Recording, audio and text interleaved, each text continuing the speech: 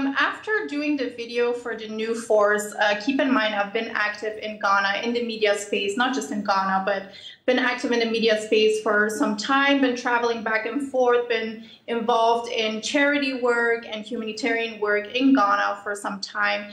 And after the video came out with me as the spokesperson for the new force, I got a call from immigration uh, to come to their headquarters um, for some questions. So I went willingly. Um, I went uh, when they invited me a couple days after I went.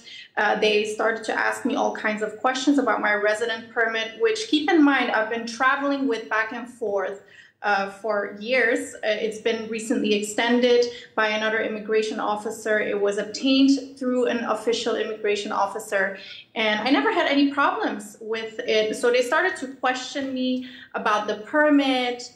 Um, they asked me about certain documents that I have never seen before, and they asked me questions about the new force. So um, I, I, was I was very confused why I was there, and then eventually, after some hours of questioning, they told me I had to stay there overnight. So um, I stayed in the cell overnight at immigration, and the things that I've seen there were just, um, I don't have words for it. It was very shocking. There were so, so, so many people there. Um, I think more than 15 people from all different nationalities Africans, Arabs, uh, Asian people. And it, it was shocking to see that some of them were already there for nine months without hearing, without lawyer, without anything, and in just inhumane circumstances. Keep in mind, it was men and women um, together in the same cell. Um, you know, some of them, they, they didn't even have the chance to make a phone call. They were stuck there for months, nobody to call, no lawyer, no counsel, um, sharing mattresses with each other. Like it was just, it, it, it, was, it was baffling, the things that I've seen there. Um, then the, the next morning, um, I was being transferred to NIB. I didn't know where I was going. Um, they just took me out of the cell. Um, then uh, they transferred me somewhere. I didn't know where I was going, so I was just being pushed in a van, and they took me somewhere after I found out I was at NIB. Um, and and that is where they told me I'm under arrest. I still didn't know what exactly for at that moment because there were no official charges. Um, so yeah, that's how it went. Mm. Now let, let's get this appreciation because most of us got to know I mean, that you had been arrested and kept in jail for four days. We will come to that. But let people understand because we have seen you in the media space. We have seen you appear on what they call it, TV networks, uh, participate in conversations. We have seen you direct traffic, no, not direct traffic, but help people actually at the traffic sections. We have particularly seen you go to Mepe to go and do donation how did a Belgian woman wake up one morning and decide that Ghana was where I wanted to go to do all of these things? Well, um, I actually didn't just wake up and go to Ghana one day. I represented my country for many years as an international beauty queen for Belgium. So Ghana was one of the places where I represented Belgium as Miss Belgium at that time. So that oh, okay. was in like 2017. Mm. That was the first time I went to Ghana. And I just connected really well with the people. I had a great time. I was, you know, I, I, it, it was just great. It was a great experience. And I was like, you know what? I like Ghana, but I've always been involved in humanitarian work and charity work. As an international beauty queen, that's one of the things that you have to involve yourself in, you know, human, having a heart for humanity is you know what what you're supposed to stand for as well. Mm, okay, no, I mean that, that puts it into proper perspective for some of us who did not know why you, of all the countries available in the world, chose to come to Ghana to do this. So now let's talk about what is the biggest accusation that was leveled against you. Specifically, in court, in court, you were charged with, in fact, accused of violating Section 52.1 I of the Immigration Act 2000. That's Act 573. And they stated specifically obtaining for yourself a student permit by false declaration? Um, the charges were actually that I forged national intelligence. Is somebody really supposed to be kept at national intelligence if it's a problem with your permit? You know, I, I think it was very clear that it was about the new force, which was all also mentioned in the charges that I was there because they wanted to investigate my um, activities in relationship to the new force.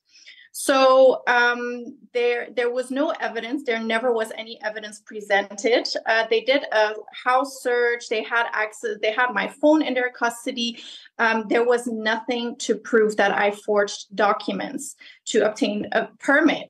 Um, I, I, obtained the permit through an official immigration officer, as I mentioned before, and I, I, don't want I don't know too much about the whole legal aspect. I think that is something for my lawyer, Mr. Sosu, um, can answer those questions better. But there was never any evidence presented, and um, especially if you if you know that they dropped all charges eventually, then you know we can ask questions on how true the allegations are.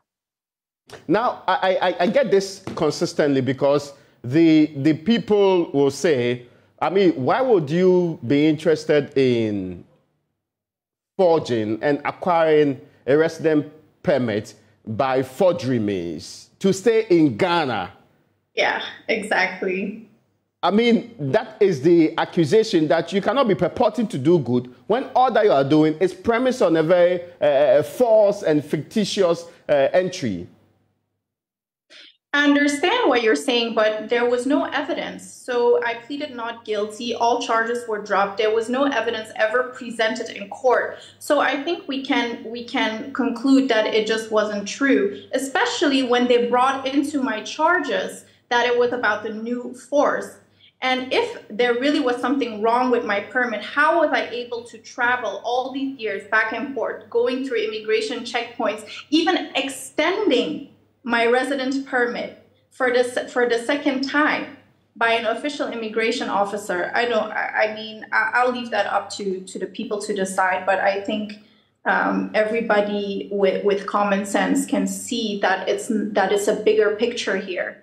Mm. Now, let me get this clear. Were you attempting to school or were you ever in school in any public university in Ghana? Um, I was still deciding on taking courses. I was still deciding, but I was told that um, with my resident permit, I also could go to school. So I just went through an official immigration officer. He told me to do ABC. I gave him my passport. I paid what I was supposed to pay, and I got a resident permit in, you know, just to, to I could work with it, I could travel with it, I could go to school with it, or do whatever I wanted in the country. So I never forged any documents. I never had to do any such thing to obtain a resident permit. Somebody who's been traveling to so many countries, like, uh, why would I forge documents to obtain a resident permit? That doesn't make sense. The other question, though, is why would you really want a resident permit in Ghana? Why not? I've been staying there for, for some few years and I, I was based most of my time in Ghana. I was involved in a lot of humanitarian work, charity work, built a network there. Um, I was involved in media projects. I have a, a network of friends. Um, so why not? I mean, were you intending to stay permanently in Ghana? I was I was spending most of my time in Ghana because okay. I had I some things going on and um, well maybe maybe one day i would i would naturalize or or I, I, don't know i leave that i leave that open. But you know my love for ghana i think uh, i think i've always shown a great love for the country. And and you know i think i contributed to society in a very positive way um, throughout my time in ghana now, what were the conditions like during your time in custody, and especially concerning the lack of, I mean, uh, when you, so you had mentioned you were transported. At what point were you officially given access to counsel or probably put before court? How many days were you in detention before you were officially uh, taken to court? Um, so after 48 hours, the 48 hour benchmark was approaching and I still didn't get to see my charges officially. So um, after 48 hours, uh, the people from immigration they secretly took me away. My counsel was present at NIB at that time, but I didn't get the, the chance to have a confidential conversation with him because they always tried to deny me access to my counsel. I wasn't I wasn't granted any phone calls. I was completely out of touch with everything and everybody. So when the 48 benchmark approached, uh, my lawyer was present at NIB. They took him into a room and they took me away. At that point, they pushed me in a van and they took, or, or, or in a car, and they took me somewhere. I didn't know where I was going, so I kept asking, "Where am I going? What's going on? Where am I going? Why, why, why can I not speak to my lawyer?" and um, I, I, nobody was telling me anything. And then I saw we arrived at court, and I was like, my lawyer should be aware. Like you should make him aware, or you should call him or let him know that I'm here. But they refused. They just ignored me. They they weren't listening to me. They were lying to me that they were just gonna file some documentation at court, and eventually they wanted to put me on the stand take my plea and you know potentially let myself let me incriminate myself I had a counsel, I had a lawyer, and they refused to give me access to him. They refused to call him. They refused to let let him know where I was at that point. So that was very um, inhumane. Um, so at that point, I, I uh, told the judge, I spoke up for myself. I had to speak up for myself, and I told the judge that I do have a counsel and I want my lawyer to be present.